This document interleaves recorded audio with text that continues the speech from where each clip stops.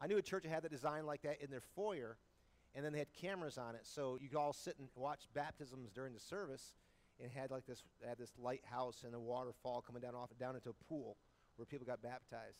That's kind of cool, right? I think. Eh, whatever. Um, that's okay. I like whatever we got. It's good. I'm glad for the blessing. We are really blessed, aren't we? Wow, so many good things. I, I really want to say I'm blessed to see the amount of people who've already worked to prepare for Vacation Bible School. Um, and everyone's got stuff on their plate, I know, and yet you find time. Some of you will start your work today or tomorrow night. Some of you have already been planning and working for months preparing this, and uh, I'm sure Tam appreciates it because uh, she's had a lot of her plate too. But uh, we appreciate all the work we do. So I always love this because it's kind of like an all hands on deck week, you know, where you see many, many people doing things to make it an awesome week. I want to take you to the book of Acts, chapter 6 again. Last week we talked about the uh, calling of the, the seven uh, first deacons, the organization in the church, the first election in the church. I talked about the first, the first martyr in the church today. And, and reason why, but that's not the title I gave it, is it? I gave it the title, The Witness, because that's actually the word for witness is also martyr. And uh, so a, a, transliteration would be martyr. And so what does that say to us? Because Jesus calls all to be witnesses. Not that you all have to be martyred, okay? And you don't have to act like a martyr either. Oh, poor me, right? No, uh, we, we, don't really suffer that much, do we? I, I, know, like some of you people sitting out there at the latte bar getting a latte. I'm suffering for Jesus. Yeah, right. No, that's not suffering for Jesus. We're suffering because, well, you might suffer if I have a latte before I preach, right? So I understand that. Um, but in, in Acts chapter 6, I want to look at Stephen. And here is a person who only served the church for a very short term, short, short amount of time, and made a great impact. And so I want to talk about him today. So it says in verse 8, and Stephen, full of grace and power, was performing great miracles and signs among the people. But some men from what is, was called the synagogue of the freedmen, including both Cyrenians and Alexandrians, and some from Cilicia and Asia rose up and argued with Stephen, but they were unable to keep to cope with his wisdom and the spirit by whom he was speaking. Then they secretly induced men to say, "We have heard him speak blasphemous words against Moses and God." And they stirred up the people, the elders and the scribes, and they came up to him and dragged him away and brought him before the council. They put forth false witnesses who said, This man does not stop speaking against the holy place and the law, for we have heard him say that this Nazarene Jesus will destroy this place and change the customs which Moses handed down to us. And all who were sitting in the council stared at him, and they saw his face was which was like the face of an angel. And in chapter 7, there's 50 verses of basically where they, they bring out Stephen and, and they accuse him, and he's standing before the same people basically who crucified Jesus, and he begins to recount how God had moved by his Spirit to bring redemption of his people. But there was always a group of people out there who would reject all the wonderful things God does. Here's Stephen. God is working through Stephen's life to perform signs and wonders, and they're mad about it. And they want to get rid of him. Well, it's interesting because Jesus had performed signs and wonders, and they want to get rid of him too. If ever you, people want to get rid of you, let it be because you're doing good things for God, right? Okay? That's what we want to do. So in, in, in verse 51 of Acts chapter 7, it kind of wraps us up. I want to go home and read that, that chapter if you want, or, or do like I do. Take your phone, open up your Bible app to, to Acts chapter 7, and on your ride home, just let it play with that audio thing, you know, and listen to the story he tells. And that way you have the background. But I want to focus on some of the stuff about being a witness. You men who are, I love how, this is, this is Stephen. This is the part that some of you relate to more. You love it when Stephen just tells these people off, right? Admit it, okay? So he says, You men who are stiff necked and uncircumcised in the heart and ears are always resisting the Holy Spirit. You are doing just as your fathers did. Which one of the prophets did your fathers not persecute? They killed those who had previously announced the coming of the righteous one, and you have now become betrayers and murderers of him. You who received the law as ordained by angels and yet did not keep it. That's a great way to make, you know, friends, I suppose. I um, so the difference is Stephen wasn't trying to get in with the political, religious leaders of the day. He was trying to be faithful to God as a witness. So verse 44 says, Now when they heard this, they were infuriated, and they began gnashing their teeth at him. All I can think of is Shark Week when I read that. You know, gnashing their teeth. Um, yeah, you know, shark's teeth just want to bite at him, right? They just hated him.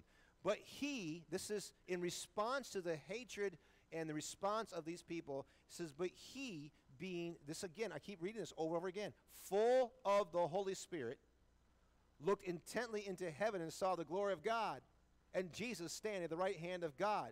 And he said, Behold, I see the heavens opened and the Son of Man standing at the right hand of God. But they shouted with loud voices and covered their ears and rushed at him with one mind. And when they had driven him out of the city, they began stoning him. And the witnesses laid aside their cloaks at the feet of a young man named Saul. And they went on stoning Stephen as he called on the Lord and said, Lord Jesus, receive my spirit.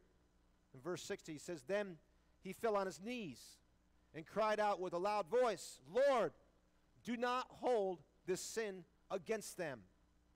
Having said this, he fell asleep.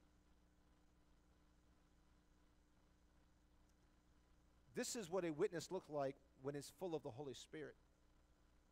I can tell you what a witness looks like when we're full of our flesh. Lord, get them back. That's what we say. Don't forget that we sound more like uh, Nehemiah in the Old Testament, you know, or some of the Psalms of David. Lord, judge them for their wickedness. Don't let them be forgiven. But Jesus did the same thing, didn't he? When he's on the cross, he said, Father, forgive them. They don't know what they're doing. The witness of Stephen. If we go to Acts chapter 1, and it's a familiar verse, they're quoting, Luke is quoting Jesus. When Jesus said to them, verse 8, But you will receive power when the Holy Spirit comes on you.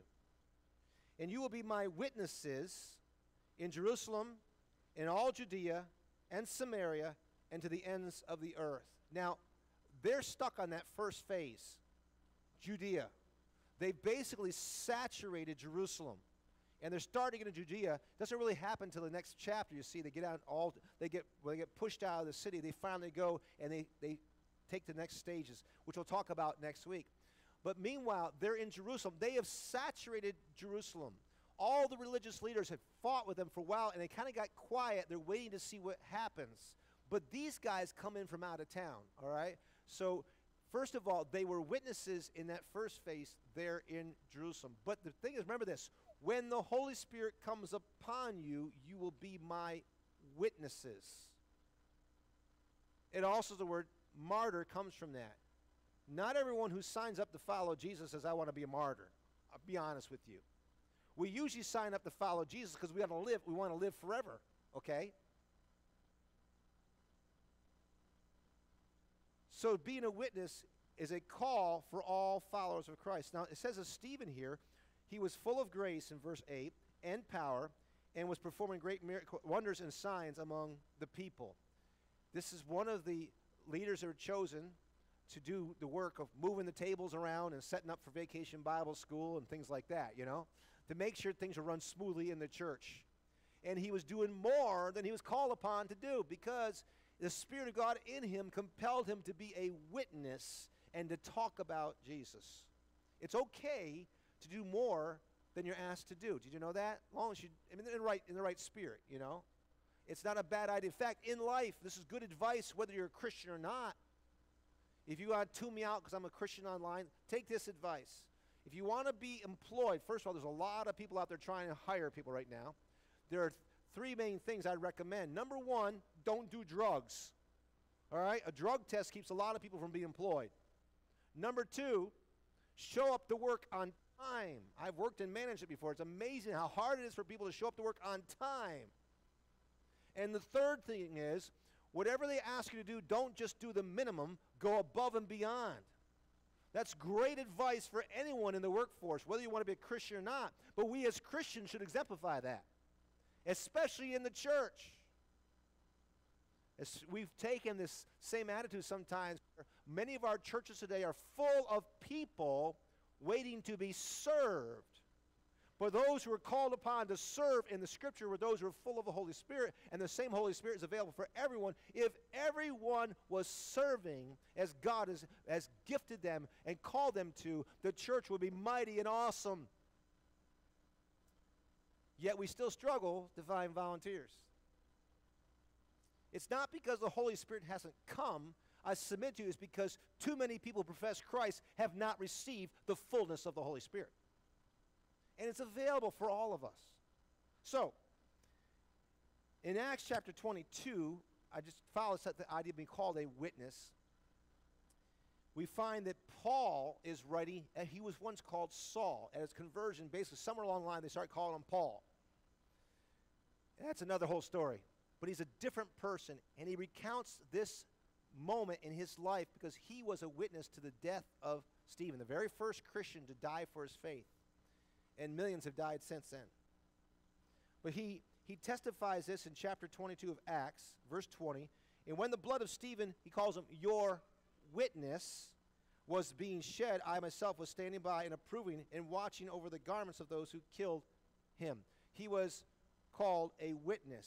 Now, in the in the book of Revelation, there's many references to the word, whether it be witness or testimony or martyr. They all come from the same word, martyre. It, it talks about in Revelation. Then I saw thrones, and they sat on them, and judgment was given to them. And I saw the souls of those who had been beheaded because of their testimony of Jesus and because of the word of God, and those who had not worshipped the beast or his image, and had not received the mark of their, on their forehead and on their hands, and they came to life and reigned with Christ for a thousand years. Here's the thing if you sell yourself out for Jesus, it doesn't matter what they cut off, you're going to live forever. You got it? You're going to come back to life and you're going to reign over the same people who may have put you to death. But that's not my motivation. My motivation is to glorify Him. You serve Jesus, you'll never be disappointed. In the end, you will be rewarded in more ways than you can imagine, even if you die for Jesus. And many people are around the world. We've talked about that. What is a witness? Like I said, the word comes from martus here, a witness. It's used 34 times in the King James Bible. How many have a King James Bible? Come on, come on, come on, folks. Don't be ashamed of it. It's okay. All right. I know how many memorized John 3.16 in King James? How many memorized John, uh, John 11, 35 in King James? Yeah, you too, right? Yeah. I think it's that's one of the verses probably almost every version has it the same. John 11, 35. Who knows it? Who knows the verse? Jesus wept. Shortest verse in the Bible. Come on, you all should know that verse, right? King James Bible uses this word 34 times. And it, it can be used in a legal sense. So, a legal sense, it's a, or Jesus said one time, where two or three witnesses uh, agree on uh, things can be established by two or three witnesses in Matthew 18, 16. And it's also same reference here of the false witnesses who made up accusations against Stephen in this story. To give a witness is to accuse or to testify. So the word here testify as well. Your testimony is your witness. Also is used in a historical sense. It's like for those who are spectator of something or anything. Think about something in history you watched on TV. Like I remember back when the when the space shuttle exploded. My wife was watching it on TV. She was witness of it. She was watching it live. It wasn't like a recording later on. She was watching it live, and you're all excited. Oh, people are going into space, and it explodes before your eyes. A, that has a profound impact upon you when you see something like that and witness it. Some of you've witnessed accidents. You've witnessed things in your life. Those who have PTSDs from, from war, from other things, because of something you witnessed, it's impacted your life. That is to be a witness in a historical sense. But also to witness or to tell the story of something like he was telling the story of the Israelites and the rejection of God by the leaders down through history. He was giving a witness and a testimony in a historical sense. But there's a third way to look at this, and that is in an ethical sense. to be a witness or to be a martyr are those who, after his example, have proved the strength and the genuineness of their faith in Christ by undergoing a violent death. And there's references to martyrs all through the Bible. Revelation has several of them. Chapter 2, it talks about martyrs. And chapter 6 talks about martyrs. Chapter 17, chapter 20, all kinds of references to those who martyred for their faith. And the root word is witness. It's the same thing. You shall receive power after the Holy Ghost has come upon you, and you shall be my martyrs in Jerusalem, Judea, Samaria, and the uttermost parts of the earth. You may not die physically for your faith, but if you're going to be an effective, listen, you're going to fall asleep. Get this right here, okay? Right now, wake up. This point I want to make. If you're going to be effective testimony for Jesus that results in powerful things, you do have to die. Paul says, I am crucified with Christ. Nevertheless, I live. The life I live in the flesh, I live by faith in the Son of God who loved me and delivered himself up for me. He had already died. And you know what? You can't kill a dead man, nor can you stop a dead man. And that he wasn't stopped. You see what I'm saying? An effective witness is not self centered, he's God centered. He's already died to self, and he lives by faith in God in every way of his life. How did that carry itself out in, in the life of Stephen? Because Stephen is a great example of what it means to be a witness full of the Holy Spirit. Now, I, I can tell you about witnessing. I, I used to be motivated by guilt, okay? Like, I got to lead people to Jesus. Got to lead people to Jesus. So, so I, I figured out one way to do it is is find a captive audience, like, you know, be like a chaplain in a prison, right? Next best thing is find someone who doesn't intimidate you who's hitchhiking. That's kind of hard to do for me, okay? So I saw this teenage boy one time, I'm in college, and he was like down in the Carolinas somewhere, had a ride, says, looking for a ride to New York. Well, lo and behold, I'm going to New York. And I'm driving my Volkswagen Squareback. Okay, you know what a Squareback is? It was just a little bit better than a bug, all right? It had a fuel injected engine, but it was still just as small, you know? And so I pull over, said, Where are you going? So I'm going to Poughkeepsie, New York. Well, you're in luck. I'm going to Long Lake, New York, as if you know where that is, but we're going right by there. So I picked him up, and I was determined to be a witness to that boy. He's either going to get saved or get scared to death, one or the other, riding with me. And I went through everything I knew, and I, in the flesh, I led him to Jesus. And I was like, I put a mark on my Bible, and he got out of the car, and he wasn't changed one bit be honest with you. At the other time, though, being a witness full of the Holy Spirit oftentimes happens you don't even realize you're being a witness until later on. We try so hard sometimes. Look at Timothy. First of all, he was elevated to position in the church to do something. Because, first of all, the pastors couldn't do everything. All right? We rely too much on pastors. We have a specific role we looked at last week the ministry of the word into prayer. And, and sometimes we want the pastor, you do not want this pastor to make the decorations for Vacation Bible School. It would look pretty bad up here if I did, okay? Gifted people, and people who are skilled and able to do things, and people who have proven themselves to be of the right character get elevated. So, Stephen, first of all, had a life that was exemplary, and people watched it and recognized as someone who was full of the Holy Spirit. And it was the people of, and the believers who chose Stephen because of the qualities demonstrated in his life. And he continued to do it. And above that, as they put him in position, things started happening under his leadership and signs and wonders. I wonder what those signs and wonders were. You think about it? I don't know, maybe because you know, he was put in charge of the tables and the feeding of people. Maybe he started, maybe, you know, people brought in like one casserole and they fed the equivalent of five casseroles. I don't know. Maybe started doing things Jesus did like that. You know, I don't know. Maybe maybe someone left the lid off the baptistry and he walked across. I don't know what he did. I know what the signs and wonders he did. Figured out. But I believe they all fit into the purpose and the plans of God. And people say, "Wow, God is with this guy." That is a witness. And maybe he never did any of those things, but it was getting the attention of people that God was alive and real in his life. Signs and wonders. See, signs and wonders are basically this it's when you see something happen and you really wonder how it happened because God did it. You know, I'm not looking for signs and wonders like, you know, fire from heaven. We have electricity in the sky all the time, right? I'm not looking for miraculous things that make you wow me and, and put more money in the offering like I do on TV, whatever. What I would like to see, though, is the wonders of God revealed to people in such a way that people who are going one direction turn around and go the other direction and follow Jesus. I want to see lives changed, miraculously transformed. That is a sign and a wonder in my mind. That is the fruit we're looking for as believers in Jesus Christ. It's not just that we have great buildings built, not just that we have great music or we have whatever it is in spectacular things online. We're doing a little better, by the way, this week online. I want you to know that we have some upgrades. Go watch it later on. But that's not the thing. The biggest sign and wonder of all is a transformed life when someone was dead in their trespasses and sins and they find Jesus and they come alive by the Spirit. That is a sign. That is a wonder when someone's life is changed. I love hearing people that I knew before they were saved talk.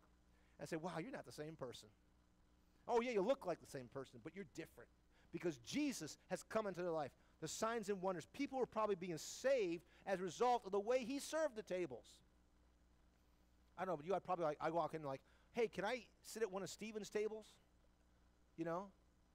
I mean, Philip's pretty good too, but he might make me move to, to, uh, to Samaria next chapter. That's, that's another story. All right. Stephen was doing a great job in ministry because the people recognized it and put him in the right place, and he served there. Second thing about it, here's Stephen's testimony. Look, look at his testimony. Because although we could focus on that time, he really told those people off. Don't you love it? I know it. A lot of times we love when somebody's told off. You know? But before you get to the part where Stephen is telling them off, look at his witness before that. Because first of all, it says in Acts 7, 1 through 50, you have this telling the story and his testimony, and have his, his reference in chapter 6 as well. But first of all, it says of him in chapter 6, verse 8, it says, Stephen with power he testified. With power. And that is the word dunamis in the Greek, which sounds a lot like dynamite. Okay? Now, I like that if I want to blow something up, okay? But you don't have to blow people up with your testimony. But the power here mean, meant he had energy. You know, it's like when we tell somebody the good news, does it sound like good news? I'm just wondering, does it? By the way, the good news is that you're a terrible sinner.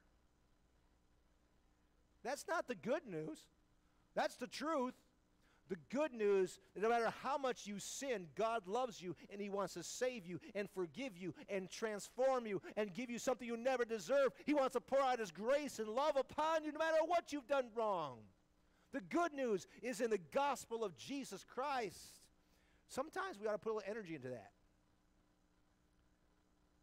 You know, kids, you know, vacation Bible school, we want people who are a little bit ex- more expressive. My wife teaches preschool, if you didn't know that. And, and she talks in a certain way to keep their attention. She loves to read books. And she talks to me the same way a lot of times. I might explain a lot to you, okay? And it's amazing how she gets so excited about stuff. And I thought, you know what? But if someone's excited about something, I might want to listen to them. I mean, I love I love listening to my wife tell read books now. You know, I don't don't read me anything. You know, just read me those books about the letters and things like that and colors, and I might learn something just to listen to the enthusiasm in her voice. I love that. And some of you people, you, te- you teach little kids, you're fun to listen to. You're fun to talk to. By the way, though, if you're ever in a school system and, and you have kids like in first and second, third grade, and they have those back to school nights or those parent teacher conferences, they take twice as much time to talk. You notice that? You get third, fourth, fifth grade, you're in there five minutes, you're out. When you get in there with a first grade teacher, kindergarten teacher, they take a long time to explain things. But they keep the attention of kids. And people who do not know Jesus Christ have a hard time keeping attention with some of the lack of enthusiasm we have about Jesus. You know? I know. You got to be careful. We want to be labeled a charismatic. Well, I've already been labeled a charismatic, okay? Just forget it. There's a story behind that I'll save for another time. But the idea of this is, to, is he had a testimony with energy, but also the word implies he had ability. So when he went and told this big long story that you haven't read yet because I told you to go listen to it later on this afternoon, he knew he had knowledge of the history. He knew the scripture. He could share the story. It was personalized. He could take God's word and he could apply it to the present situation with power, with enthusiasm, with ability, the power of God. And then, as a result of his life being surrendered to God, God's power worked through Stephen in his life. Do you have a testimony with power? You can. Second thing about his testimony is it was with grace. Now, I'm glad I took enough Greek to get myself in trouble. And tomorrow, staff meeting, Pastor Craig and I will have a conversation. He'll straighten me out. I said something the other day that someone straightened me out after Bible study, too. That's fine. But I know that the word for grace in Greek is charis. And it's very closely tied to the word used for gifts. And grace is a nice word. Yeah, grace is it's it's it's kindness and favor and blessing. So Stephen, when people went to his table at the church, he was treating them with favor and blessing, and he was blessing the people as they came in. And it was he was kind, gracious is what that word means, right? So his witness was in this character. Though he had power, he had enthusiasm, and he had ability, he was kind and gracious. Oh Lord, give us some graciousness in the church today. I'm tired of the fighting and backbiting in our church over every little thing. As I said last week, we need to focus on Jesus and come together and give each other some grace the way God has given us grace. With grace. In fact, I love the scripture verse in Colossians 4 6 says, Your speech must always be. I, I didn't emphasize that. Your speech must always be. If you hear this verse of scripture and you're not convicted, well, you're doing better than I am, okay? Your speech must always be with grace, as though seasoned with salt, so that you will know how you should respond to each person, because each person is different. And we need to learn how to season things differently. My wife likes to cook chicken on the grill. And she gives me that seasoning that's like a poultry seasoning. I think it's disgusting, but that she likes it, okay? For her sake, I put it on her chicken. I like red meat, although I may have to cut down on it based upon my last doctor's visit. But anyway, I like red meat, and I like putting a different type of seasoning on it. We have different tastes. I'll put some of my red meat seasoning on that chicken next time. That's what I'll probably end up doing because I can't eat as much red meat. But the thing is, we all in the world, we have to be flexible and listen to the Spirit when we show grace to each other. Because God shows grace to us. And we need to love each other. Let them see the love. You'll hear the old saying people don't care how much you know till they know how much you care. With grace. Third thing, Stephen's witness, his testimony was with power, it was with grace, it was with faith. Stephen, a man full of faith and the Holy Ghost. Acts 6 5 says he had faith. In the King James, it says in verse 8 that he had faith, but the same word is translated grace in most other translations. But it's okay because it is in the whole context. He had both faith and grace, all right? So we have this, he have faith. Stephen, a man full of faith and of the Holy Ghost. I'd submit to you, if you've been filled with the Holy Ghost, you will have faith. You'll believe.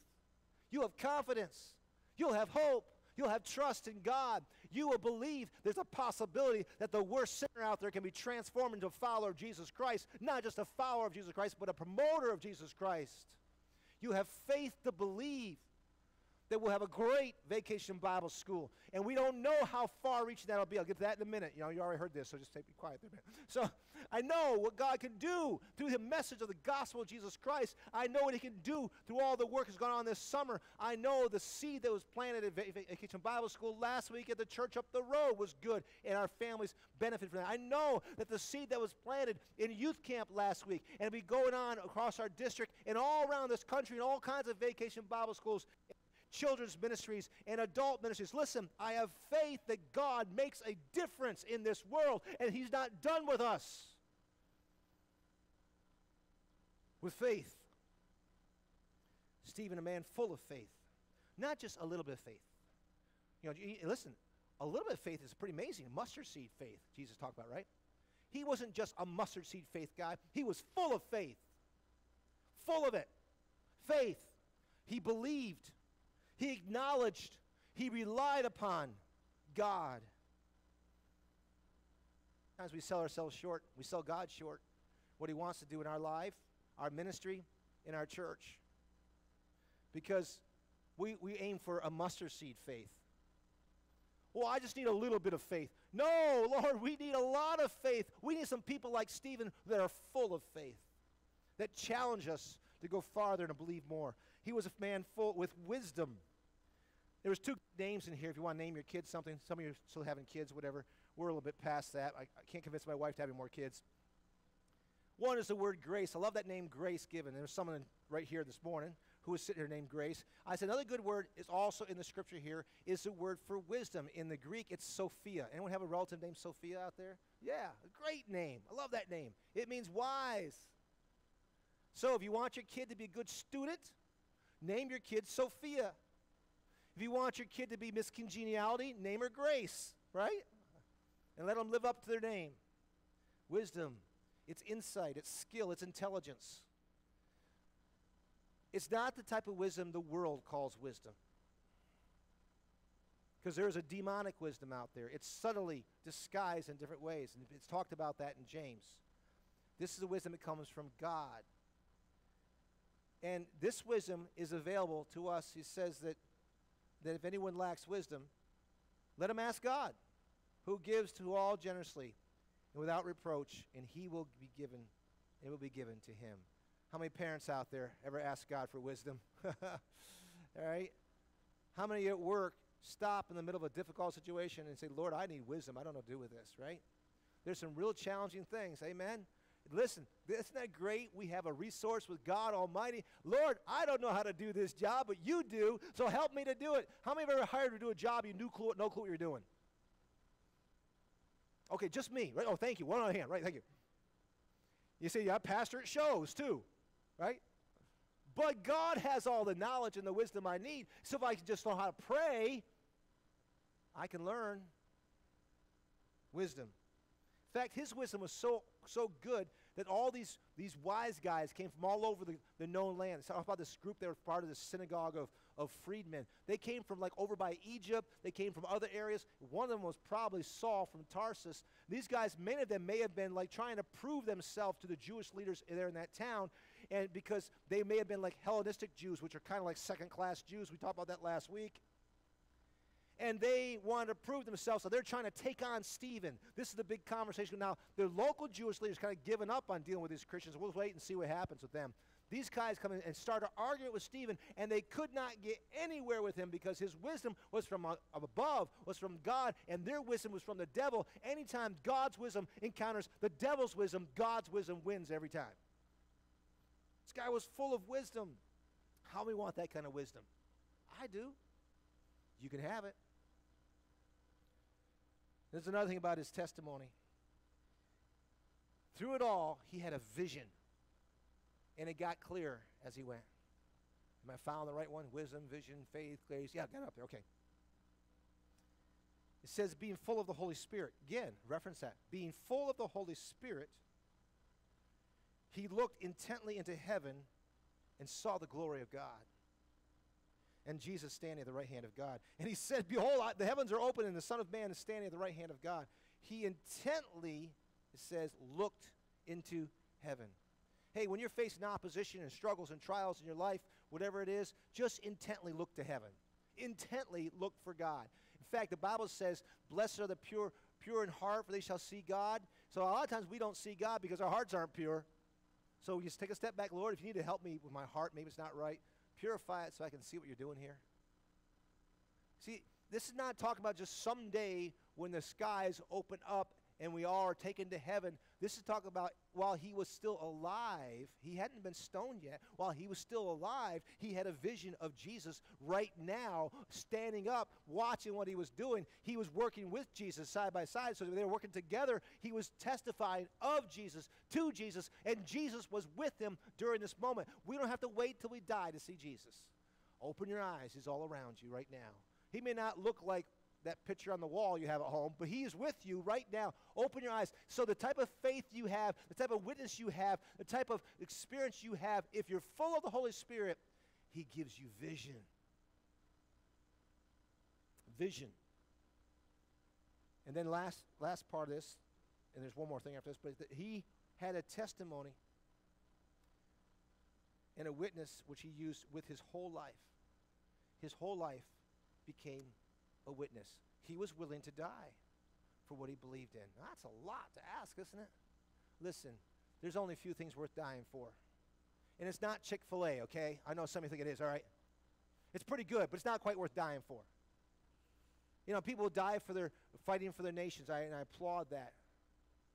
But the greatest battle to fight is, the, is a grand battle of all between good and evil, between God and the devil. And to fight on God's side is, is, is not going to be bad. For, it talks about the great reward we have for those that do. It's being willing to die. You may not die, but you live like Paul, a long life, already dead. They can't kill you, and you can't be defeated that way. So he gave his whole life with our when our listen, when our what our life needs to be right now as we are living is hidden in Christ. It's not about me, my personality, my, my desires, what I want. It's not about my pleasures, and, and it's not about me being comfortable. It's about Jesus be, reigning. So when people look, look at me, they don't see me, they see Christ. If I can hide behind Christ somehow. In fact, there's a scripture verse that talks about being hidden in Christ. And if we're hidden in Christ, Christ is revealed to the world. Scripture says this Therefore, if you have been raised with Christ, that's your salvation, all right? If you've been raised with Christ, you've received Christ in your heart, you've been born of the Spirit, you've been given life. If you've been raised with Christ, he says, keep seeking the things that are above. You know, keep intently looking for God and his stuff. Be determined to do that. Where Christ is, seated at the right hand of God, set your minds on the things that are above, not on the things that are on the earth. For you have died, already died, and your life is hidden with Christ in God. His whole life was a witness. That means if he lived today, the way he drove, he was a witness. And we are always a witness when we drive. Sometimes we're a bad witness about the way we drive. The way you tip at a restaurant. How many here work in that industry? I'm just this is for you guys, all right? You deserve tips. And, you know, and by the way, some of you Christians have been around a while. It's not 10% anymore, okay? I want you to know that. It's gone up.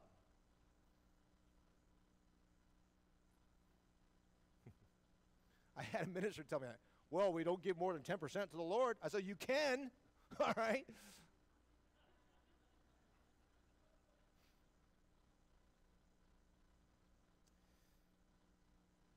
Everything we do, the, the, the way you post on Facebook, are you a witness? Does it include grace and favor and love and wisdom and faith? Is it optimistic? Hey, I, a lot of us have, we, have been working on this year. A lot of us have been really trying on that one. I know I posted some pretty bad things on Facebook in the past. And you know the devil is called the accuser of the brethren, and he has a Facebook page, I'm pretty sure, okay? And he's probably following you and me. And he'll use someone else to remind us. How we do everything we do, it is a witness. Your whole life is. Listen, are you ready to give your whole life to Christ so that everything you do is a witness? That's when the world gets turned upside down. That's when things really happen. And here's the last thing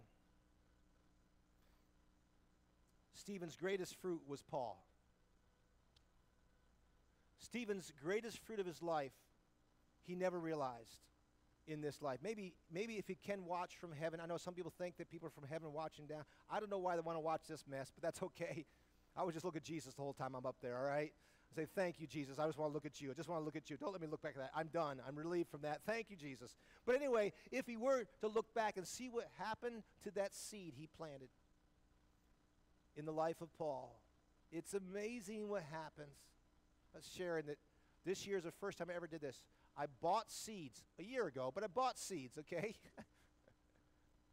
I planted them this year in a cup in our house, put it in the garage for the sun, and it started to grow. And then whatever did come to life, I took outside and planted in my little garden, which is not much bigger than my Volkswagen, okay? So, and that little seed grew up and produced these big leaves and this yellow squash. And boy, is it good. I didn't believe for a while it actually happened. I'm used to going down to my neighbors and buying their squash, right? It's amazing what that seed did over a few months' time. Stephen was careful to say, Father, don't hold this against them. And Paul, who was the one who was holding all their coats and giving organization, who's then called Saul, was listening to that, heard those words, recounts them later on, and the gospel seed was planted in his, the worst enemy that you might have that day. Today we say, Lord, here I come. I'll lead these sinners of this sinful world. Let them get what they deserve. No, but full of the Holy Spirit, we sense what God senses because He came to save your worst critic. He came to save your worst enemy. He came to save that, that person that abused you. He came to save that person. He loves them. And by the power of the Holy Spirit, you can love them too. You can forgive them. You can pray for what's best for them. The person who hurt you the worst, but not without the Holy Spirit, can you really handle that? Paul went on to preach in all these countries where Stephen never went. He went on to write books of the Bible. There's no book of Stephen, but there's lots of books written by Paul. But we can thank Stephen for them. Think about that. Who might be among the children you served this week? The teens you served last week. Who might be among the children and the, perhaps the parents and the, their potential influence is a great motivation for us to be a Holy Spirit filled witness. Who do you work with? Who do you run into? Who is the one that bugs you the most? If we can be a Holy Spirit filled witness to them, think of what God could do. Have some faith and believe in God. My challenge to you is to be a witness, to be a witness of His power. Because in Christ there is power to save from anything. He is mighty to save. To testify, to be a witness of, of His grace and to share His grace, His blessings and favor. Pour it out on others. Let it be said of the people from Pulaski Wesleyan Church, they're the best tippers of any restaurant in town. Maybe you should go out less and tip more. Be a witness with faith, with assurance, with hope, with confidence, with optimism. Testify. Be a witness with wisdom and skill and knowledge and insight from God, praying as you do it. Be a witness with vision. See Jesus. And be a witness with your life. Pour it out as Stephen did. Know that it will make a difference, even if you don't see it. Now, it says in Scripture they presented the seven people to the apostles. And they, after, and after they, they brought them forward, they prayed and laid their hands on them. I want to invite everyone who's working in vacation Bible school or doing any type of ministry you know of to come forward. I want to pray for you. Can we have all the staff from Vacation Bible School? Anyone is doing anything. I don't care if you're if you're just if you're just if you did something already. Okay? Maybe you did all kinds of work. Yes, come forward. I want you to come forward. We're going to pray for you. Now, think about this. We, we should have more than seven up here. They only had seven in the book of Acts. Think about the potential of what God can do with this group of people serving in Vacation Bible School. Amen? Come on up. Now, all of you are going to take part in this because it says the congregation laid hands on them and prayed for them. I don't care if you're worried about COVID or not. There's some, there's some hand sanitizer back there if you're worried about it, okay? Put a mask on. I'm going to ask the rest of you that are that you'll commit to pray for and with them. Would you stand? Somebody come out around them and lay hands on them, or just put it over their head and just kind of be careful, you know, whatever. Just put your hands and pray for them that the Holy Spirit will come upon them. That's what we're going to do right now. This is very biblical, very scriptural, because I don't want to just play games with God's work. Amen.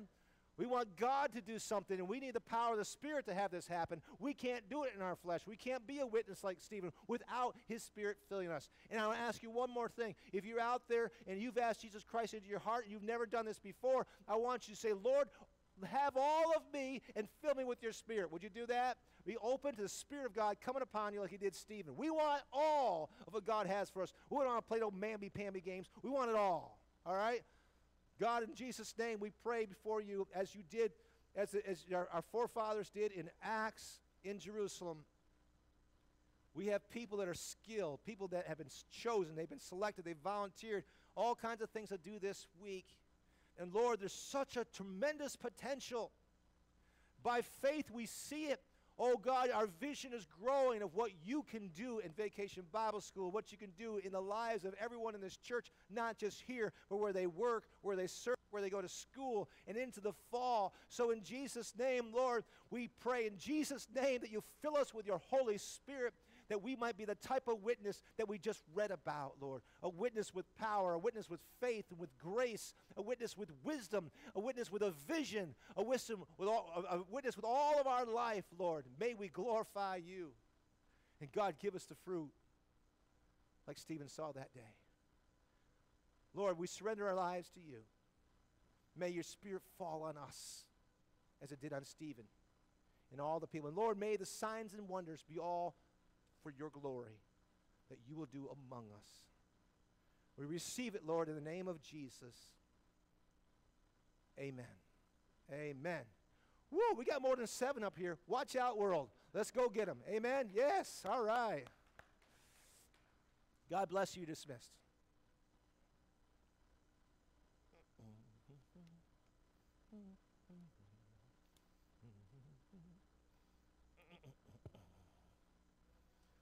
All this stuff, I guess, huh?